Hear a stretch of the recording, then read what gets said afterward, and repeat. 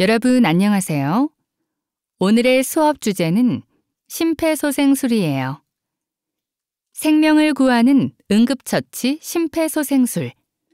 배우면 누구나 할 수 있다는 사실 알고 있나요? 그럼 지금부터 심폐소생술과 자동 심장 충격기에 대해 알아보도록 합시다. 수업을 시작하기 전 응급처치의 중요성에 대한 동영상을 살펴볼까요? 11살, 12살 형제가 심폐소생술로 갑자기 쓰러진 엄마의 생명을 구했습니다. 학교에서 배운 심폐소생술을 기억해뒀다고 합니다. 김태욱 기자입니다. 지난 8월 31일 아침 집에 있던 12살 이성열, 11살 이수열 형제는 깜짝 놀랐습니다. 엄마가 갑자기 쓰러진 겁니다.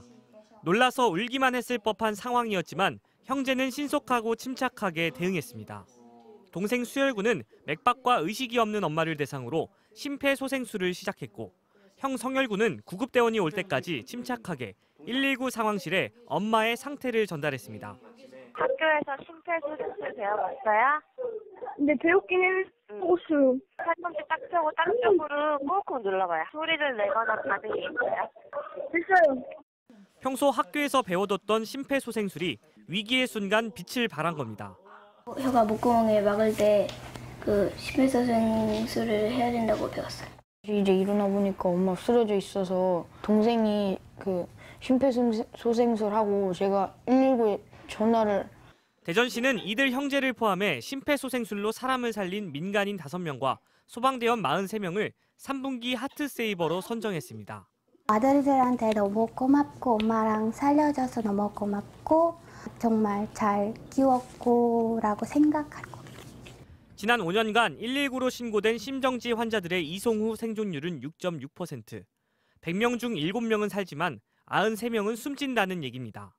소방당국은 갑자기 쓰러진 사람을 발견하면 지체 없이 119 신고와 심폐소생술을 실시하고 가까운 제세 동기를 이용해 맥박을 원상태로 돌리는 것이 가장 중요하다고 조언합니다. 동영상을 잘 보셨나요? 뉴스의 주인공들은 당황하지 않고 침착하게 학교에서 배운 심폐소생술을 떠올려 훌륭하게 대처했어요. 내 눈앞에서 사람이 쓰러졌다. 이런 상황에서 우리는 무엇을 해야 하나요? 혹시 내가 심폐소생술을 할 수 있을까 무섭다면 여러분 걱정하지 마세요. 이번 시간을 통해 심폐소생술에 대해 잘 배우면 충분히 할 수 있습니다. 자신감을 가지고 시작해 볼까요? 여러분은 이번 시간 학습을 통해 심폐소생술과 자동 심장 충격기의 사용 원리를 설명할 수 있으며 심폐소생술과 자동 심장 충격기 사용 방법을 실제로 적용할 수 있습니다. 오늘 학습 활동은 심폐소생술의 중요성에 대해 알아보고 올바른 심폐소생술의 순서와 방법, 자동 심장 충격기 사용법에 대해 알아보겠습니다. 온몸으로 혈액을 내뿜는 우리 몸의 펌프, 이 기관은 바로 심장입니다. 심장은 우리가 죽을 때까지 쉬지 않고 뛰며 우리의 생명을 유지하는 아주 중요한 기관인데요. 이 심장의 펌프 기능이 중단된 상태를 심장마비라고 합니다. 심장이 멈췄어요. 이때 우리는 심폐소생술을 합니다. 심폐소생술이란 정지된 심장을 대신해 주요 장기와 뇌에 산소가 포함된 혈액을 공급해주는 아주 중요한 응급처치입니다. 심폐소생술을 하면 혈액을 다시 순환시켜서 주요 장기와 뇌가 손상되는 것을 지연시키고 심장이 다시 회복하는 데에 결정적인 도움을 줄 수 있습니다.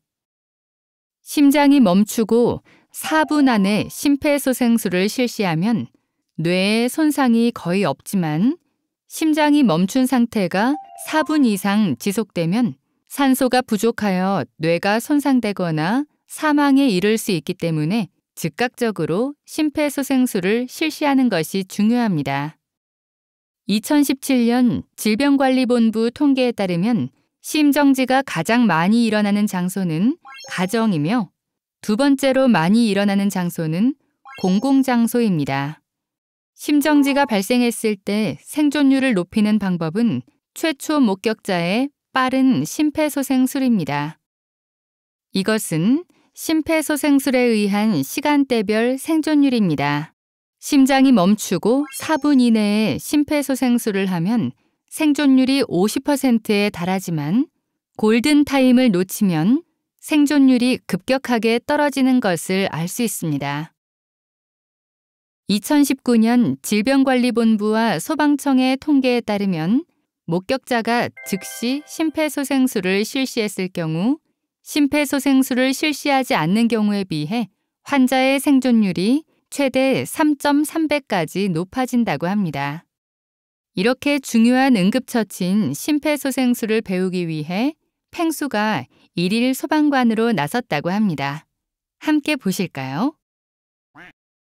지금 여기 왜 온 겁니까? 오늘 팀장님 말씀대로 예. 심폐소생술부터 교육 시작할 텐데 오 심폐소생술.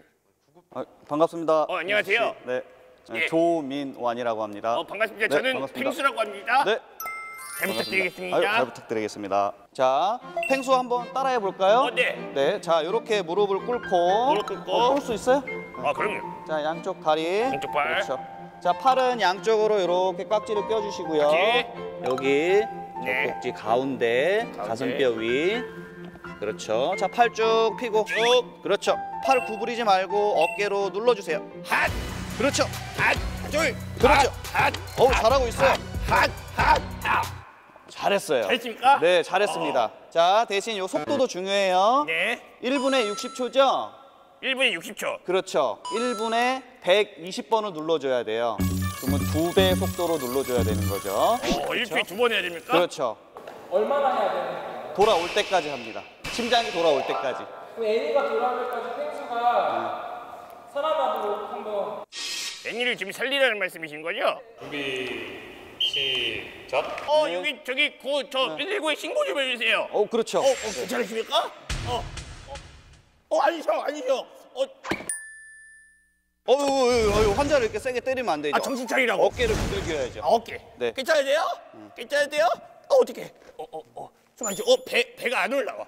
어, 지금부터 바로 실시하겠습니다. 그렇죠. 명치. 시작. 하나, 둘, 셋, 넷, 다섯. 너무 빨라요. 빨라 빨라. 일, 딱, 딱, 이, 딱, 삼, 딱. 사, 오, 어, 육, 어, 어, 어, 어, 아, 어, 어, 아, 잘해야죠.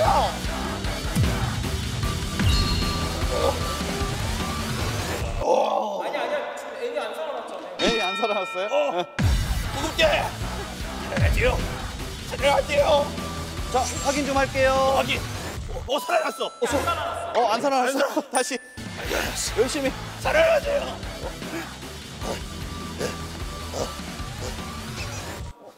어, 살아났어, 살아났어. 어, 살아났어. 일으키면 안 돼요. 일으키면 안 돼. 일으키면 안 돼, 네. 어, 하면 안 돼. 네. 자, 살 때까지. 이러다 제가 죽으면 어떡합니까? 맞습니다. 저희 구급대원도 교대로 하고 있어요. 일로 오세요. 어, 그래요. 지금 와보세요. 팽수가 지친 것 같아요. 이거 국민들 다할 줄 알아야 됩니다. 저 여기 안경 쓰신 체크무늬 남방 남성분 119에 신고해 주세요. 맞습니다. 다음에 네. 괜찮으십니까? 괜찮으십니까? 하고 하고 죽었네. 죽었네? 어. 넷, 다섯, 여섯, 일곱, 여덟, 느려, 느려, 느려졌어, 느려졌어. 일곱, 여덟, 아홉, 어, 한번 확인해 볼게요.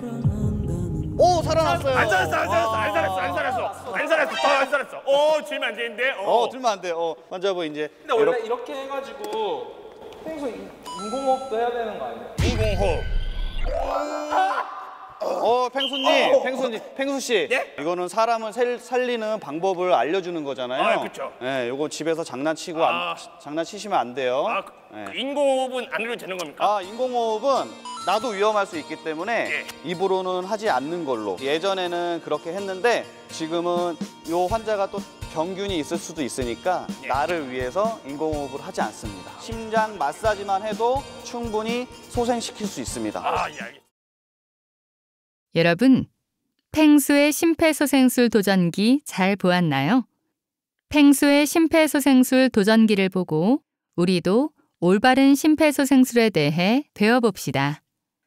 꼭 기억해야 할 네 가지 깨우고, 알리고, 누르고, 사용합니다. 입니다. 그럼 하나씩 살펴볼게요. 첫 번째, 깨우고 단계입니다.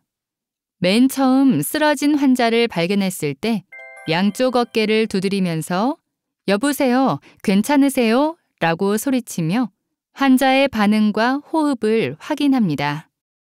두 번째, 알리고 단계입니다. 즉시 119에 신고합니다. 전화를 끊지 않고 119의 안내에 따르면 당황하지 않고 심폐소생술을 할 수 있습니다.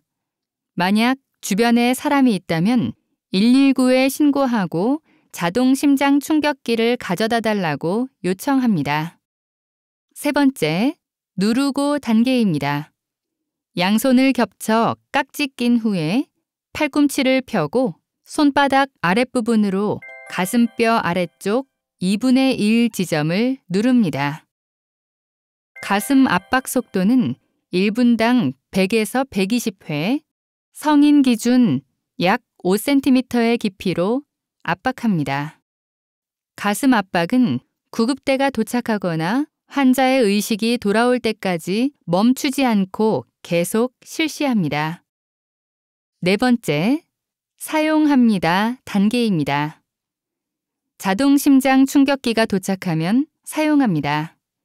먼저 전원을 켜고 음성 안내에 따라 진행하면 됩니다.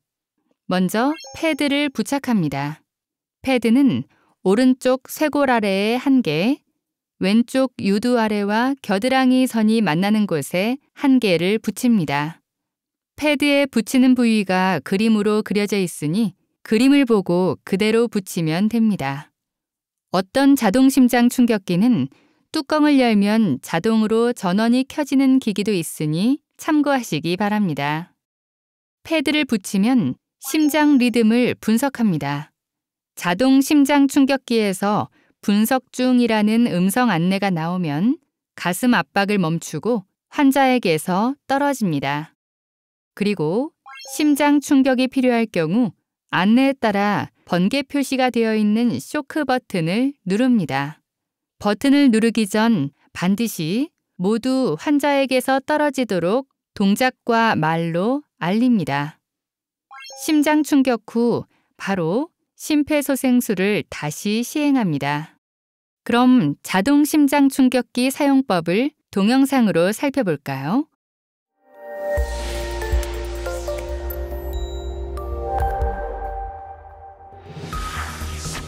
자동 심장 충격기는 심정지 환자에게 자동으로 전기 충격을 주어 심장 리듬을 정상으로 회복시키는 중요한 역할을 합니다. 일반인도 쉽게 사용할 수 있는 자동 심장 충격기 사용법을 알아보겠습니다. 자동 심장 충격기 사용 어떻게 할까요? 자동 심장 충격기를 가져오면 가슴 압박을 인계하고 장비를 인수받은 즉시 전원을 켭니다.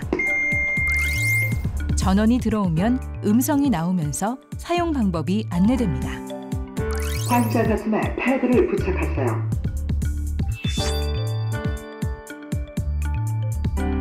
우측 쇄골 아래쪽에 패드를 부착하고 또 다른 패드는 좌측 유두 바깥쪽 아래에 겨드랑이 중앙선에 부착합니다.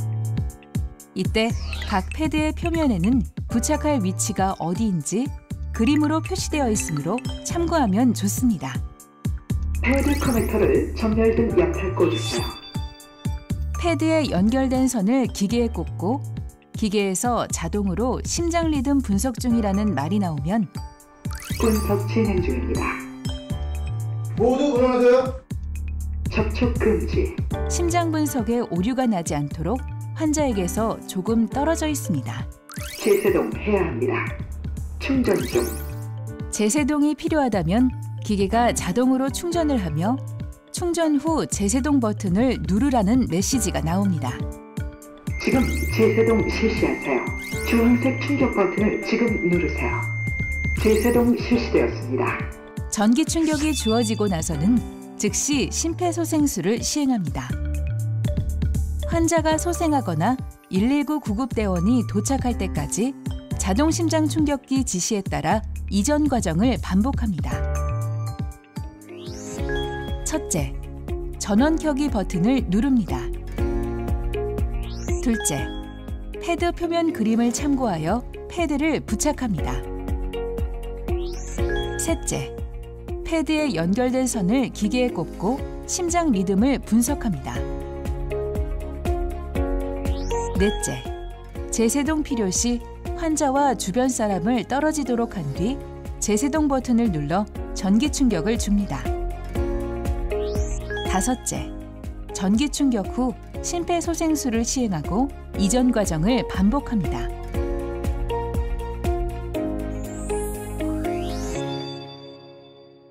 지금까지 학습한 내용을 확인해 볼게요.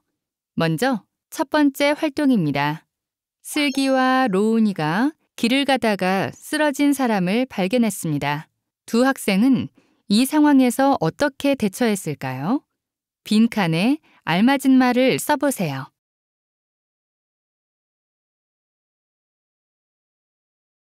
모두 잘 풀었나요? 슬기와 로운이는 어떻게 대처했을까요? 함께 살펴봅시다. 여보세요. 괜찮으세요? 저기 파란 반팔 입으신 남성분 119에 신고하고 자동 심장 충격기를 가져다 주세요.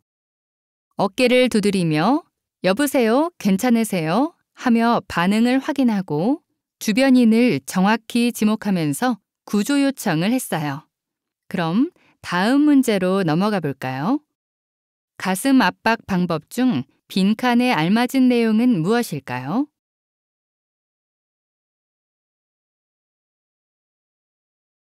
가슴 압박을 할 때 압박 위치는 가슴뼈 아래 2분의 1이고 1분에 100회에서 120회의 속도로 성인 만 8세 이상 기준 약 5cm 깊이로 압박하며 구급대원이 도착하거나 환자가 깨어날 때까지 실시합니다.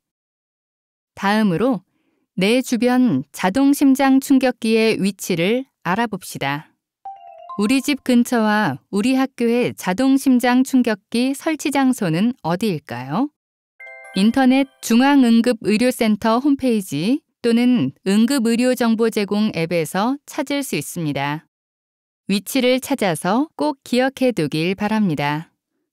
지금까지 내용을 정리하겠습니다. 심폐소생술은 정지된 심장을 대신해 주요 장기와 뇌에 산소가 포함된 혈액을 공급해주는 아주 중요한 응급처치입니다. 심폐소생술의 4단계 깨우고, 알리고, 누르고, 사용합니다를 잊지 마세요. 누군가를 도울 수 있다는 용기와 자신감은 생명을 살리고 더욱 건강한 사회를 만듭니다. 우리 모두 생명을 살리는 황금손이 되어보아요. 감사합니다.